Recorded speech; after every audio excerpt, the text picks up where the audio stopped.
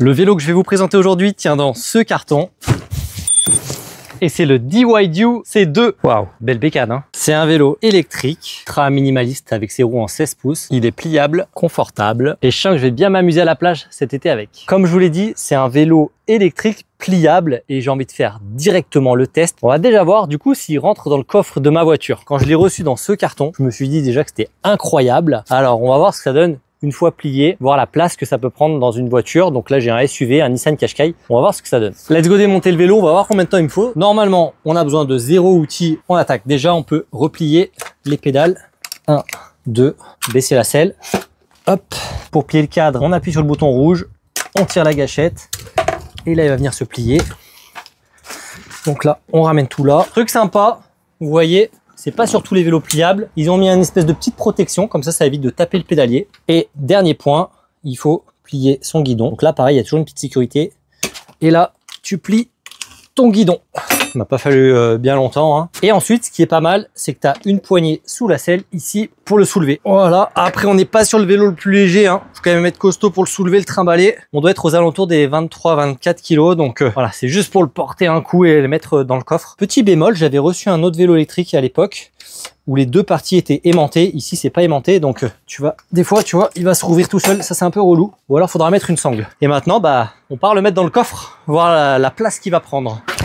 Alors, hop là ça bouffe quand même une bonne partie du coffre. Hein. Donc euh, je sais pas finalement si je partirais comme ça, je mettrais peut-être plutôt le porte-vélo. Voilà, en tout cas, je vous ai montré comment il se plie et c'est ultra rapide, ultra simple. Ça a l'air très quali. Quand tu fixes ton cadre, notamment, il n'y a pas de jeu ou des trucs qui peuvent faire peur. C'est franchement propre. Petit bémol, bah, c'est le poids. Faut quand même se le porter là, 23-24 kg. Il y a écrit sur le site. Donc c'est pas léger à soulever. Après, tu le mets qu'une fois dans ton coffre. Hein. Il faut le transporter si tu veux le plier, par exemple, pour aller dans une gare. Impossible de faire tout le trajet là. Franchement, ça va être beaucoup trop lourd. Côté pliable, c'est vraiment plus pour le ranger, pour le mettre dans ton coffre et basta. Quoi. Maintenant, je le remonte et je vais voir ce que ça donne en roulant parce que moi, j'ai envie de, de rouler surtout avec. C'est ça le but. Est-ce que que c'est costaud? Est-ce que ça va vite? C'est ça moi que j'ai envie de voir. Bon, bah c'est parti pour faire en sens inverse avec un le guidon et en plus je vous fais tout ça à une main. Donc si j'arrive, c'est vous montrer comme quoi c'est assez simple. Tu clips ici. Ensuite, le cadre à une main, je galère. Ils appellent ça le double fiche. En fait, c'est deux poissons. Moi, j'appelais ça la planche de surf. Eux, ils appellent ça le cadre double fiche. C'est un composite d'ailleurs de magnésium et d'aluminium. Voilà, la qualité, elle est, est, elle est top. Hein. Ça, je le verrouille, voilà, ça bouge plus. Ça, je vous ai dit, franchement, c'est quali, ça bouge pas. C'est assez rassurant. Les pédales, je les remets. Ici, on a un petit euh, tendeur de chaîne assez minimaliste. Hein. Quand la chaîne va se détendre, là, elle est plutôt bien tendue, franchement, d'origine. Si elle se détend, tu desserres un peu ta roue, tu viens tirer sur cette patte ici, ça va te reculer ta roue arrière, ça va te tendre ta chaîne. Assez simple, hein, c'est un peu comme les BMX. Le moteur, il est ici dans le moyeu arrière, donc c'est ça qui va délivrer 250 watts, je crois. Il y a même un pic à 500 watts, donc ça devrait un petit peu pousser quand même. Et on voit les petits freins à disque à câble à l'arrière et à l'avant. Au moins, voilà, zéro entretien à faire. Ils ont fait ça au plus simple. Il y a même un petit amortisseur à l'arrière pour le confort. Amortisseur plus petite selle rembourrée, ça devrait être confort. Avec des pneus qui ont l'air costauds, franchement, euh, des pneus typés euh, route, mais avec des petits crampons, donc euh, on peut aller dans les chemins, je pense, avec, sans souci. Ça a l'air assez robuste. Et comme je vous ai dit, c'était cette petite protection là qui était pas mal. Quand tu plies ton vélo, au moins, t'abîmes pas ton pédalier. Donc ça, c'était bien pensé. Et là, ici, tu as un bon porte-bagages qui résiste à 25 kg, donc tu peux mettre quand même pas mal de trucs. Hop, tu peux mettre ta cagette, tes cartons, euh, tes petits fruits quand on sera en vacances, ou même, à mon avis, je peux porter euh, ma fille dessus. 25 kg, ouais, c'est bon. Faire attention de pas se prendre les pieds dedans, mais tu peux charger quelqu'un, un petit enfant dessus. Place au démarrage de la machine. Ça se passe sur le côté du vélo. Ici, il y a un petit interrupteur on-off. Donc, tu démarres ici ta batterie. La petite alimentation pour charger son vélo, hop, que tu peux remettre avec son petit cache. Et ensuite, ça se passe sur le cadran. Donc, tu as deux boutons. Donc, tu laisses appuyer 2-3 secondes, ça va s'allumer. Voilà. Donc là, ça clignote. Et c'est parti. Donc en bas, les 4 barres sur 5, c'est l'état de ma batterie. Et ensuite, ce qui est marrant, je trouve ça sympa, c'est tout le cadran que tu viens baisser pour activer des modes. Donc 1, 2, 3. Voilà, il y a trois modes. Et truc à savoir, si tu laisses appuyer 3 secondes à peu près, tu vas avoir le voyant, hop, lumière. Tu as tes feux avant et arrière qui s'allument. Et quand je freine, ça clignote pour avertir les autres derrière que je suis en train de freiner. Alors les freins sont inversés, hein, ils sont en mode moto, c'est-à-dire que normalement, ce qui pour moi en VTT, ça c'est le frein avant, mais ça, ça sera le frein arrière, et ici d'origine, ce sera le frein avant. On a une petite gâchette que je vais vous montrer tout à l'heure. Elle est très intéressante. Je vous en parle tout à l'heure parce que Ça, c'est marrant. Et ensuite, eh ben voilà, on peut enlever les phares juste en appuyant. Il n'y a pas grand chose euh, d'autre à faire. Tu un deuxième bouton pour les modes. Tu les petites clés ici, servent à démonter la batterie. Tout simplement, quand tu ouvres ton cadre, ici tu as la batterie, tu as une serrure, tu la tires et tu peux enlever la batterie. Le vélo, il y a les garanties. Deux ans sur le cadre, un an sur la batterie, deux ans sur le moteur. Là, tout à l'heure, je voulais pas montrer, mais ici, tu as le petit chargeur et les petits outils qui sont fournis avec. Ils disent d'ailleurs qu'il faudra entre 4 et 5 heures pour recharger ta batterie. Bon, allez, go tester l'engin maintenant. Bon, alors je fais 1m77 et j'ai mis euh, ma selle à fond. Je vous avoue que on est un peu à l'étroit dessus, mais bon, fallait pas demander plus avec un vélo si petit. Regardez, mes genoux passent pile poil. Il est recommandé entre 1m50 et 1m80, donc voilà, je suis sur la partie haute. Mais c'est surtout, attendez, je vais m'arrêter, je vais vous montrer, la selle est à fond. Hein. Et c'est vrai que normalement, on dit qu'il faut avoir les jambes tendues en bas. Là, elles sont encore bien pliées. Je vais tester un petit chemin. Alors, je fais exprès justement de slalomer, voir un petit peu si ces pneus, comme je parlais tout à l'heure, accrochent. Là, pour le coup, je me sens bien en sécurité avec ces pneus. On peut aller partout sur la route ou les petits graviers. Donc, je pense que même sur le sable et tout ça, cet été, ça sera impeccable.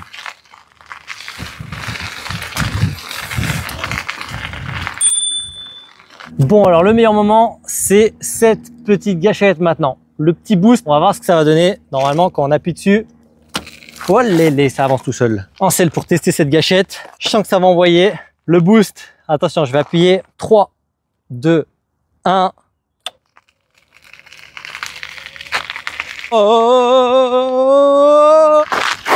Ouais, pas fou quoi. En réalité, je pense c'est plutôt un mode pour t'aider à pousser le vélo, genre si ça monte un petit peu, genre tu vois là comme ça. Hop, si t'as un peu la flemme, ton vélo est lourd, tu le pousses. Que vraiment, ah si on a dépassé les 5 km heure les gars, et j'imagine même pas s'il y a de montée parce que là on est un petit peu en descente.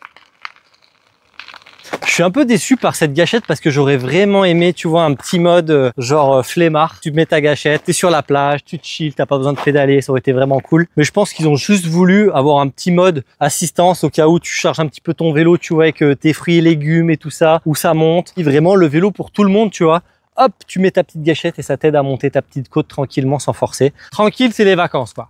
Bon, si vous me voyez à Biarritz, en tout cas avec ce vélo, vous inquiétez pas, je vais pas faire des excès de vitesse. Hein.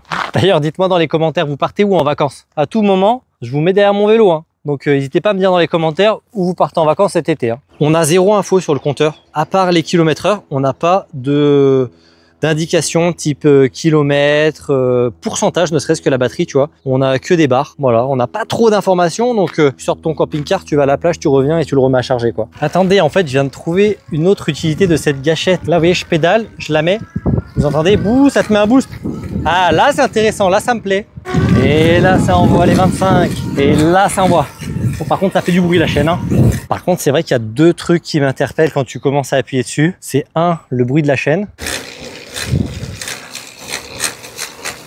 Et deux, le moteur qui se lance vraiment au bout de bien 3-4 tours de pédale, pas tout de suite. Ça, c'est un peu perturbant, tu vois. Dès que si t'es en montée, tu vas vite galérer, quoi. Départ arrêté, mode 3, donc le plus haut. Un tour, deux tours, j'appuie à fond. 3, 4, 5. Je commence à peine à le sentir. Alors vraiment à peine. Hein. Alors ouais, c'est très bizarre. En fait, que je me mette au mode 1, 2, 3, j'ai l'impression de pas avoir d'assistance. Par contre, si je pédale et que j'active ma gâchette, boum, le vélo il part. Mais alors je me mets sur le mode 1, 2 ou 3, bah j'ai pas vraiment vu la différence euh, du mode. J'ai l'impression qu'il n'y a pas d'assistance électrique. J'ai l'impression que c'est plutôt un vélo normal avec une gâchette, un boost électrique on va dire plutôt qu'un vélo électrique. Je sais pas, c'est un peu bizarre, c'est un peu le ressenti que j'ai. Niveau confort, là-dessus on est top. Tu vois, il y a la fourche le guidon, tout ça, ça travaille, ça se. Alors ça fait un peu peur, mais au final, ça donne un peu de flexibilité au vélo et ça le rend euh, plutôt confortable. L'amortisseur arrière, bon, il travaille bien. Bon, je vous donne mes ressentis sur le tas, hein, parce que c'est vraiment voilà l'essai du vélo tel quel, tel que vous aussi, euh, vous pourrez l'avoir quand vous allez euh, essayer ce vélo. Il faut le prendre en main. C'est un vélo électrique particulier. Regardez, c'est pour ça que j'aime le vélo. Hop, la découverte les montagnes, ça fait du bien de pédaler. Et en fait, ce que j'ai remarqué, tu vois, c'est qu'il n'y a pas de vitesse. Du coup, là, je suis à 15 km heure. Si je veux aller jusqu'au 25, il faudra pédaler très vite, les gars. Faut mouliner. Hein. Du coup, c'est plutôt un vélo qui incite à rouler à 10-15. Parce qu'au bout de 20 km heure, va falloir être quand même euh, sacré sportif pour, euh, pour faire tourner les jambes très vite. Et je pense que c'est vraiment ça la clientèle de ce vélo-là. Des gens, voilà, qui veulent profiter des vacances, se promener tranquillement, confortable. À savoir que le vélo là, il est en promotion sur le site à 749 euros, je crois. Il vaut normalement moins de 900 euros, il me semble. hein. Donc je connais pas trop les prix dans cette catégorie là. Ça reste un petit budget. Bien sûr, si vous voulez toutes les infos sur ce vélo, il y a un petit lien dans la description comme d'habitude. La livraison est très rapide et puis honnêtement, DYU si vous connaissez pas, c'est une marque chinoise mais qui est quand même très fiable. Vous pouvez les retrouver ces vélos sur la Fnac, sur Amazon, sur pas mal de gros sites quand même assez connus avec des garanties. Mais c'est vrai que des fois on pas trop envie de commander des vélos euh, comme ça chinois sur des sites qu'on connaît pas. Donc pour le coup, DYU, ça fait très longtemps que ça existe et je pense que c'est une marque qui est très fiable. J'ai regardé un petit peu les commentaires, cherché des avis sur internet pour euh, me réconforter dans ce choix de vous proposer cette collaboration et j'en suis plutôt satisfait. Dites-moi ce que vous en pensez. N'hésitez pas à liker et à me proposer un nouveau vélo à essayer.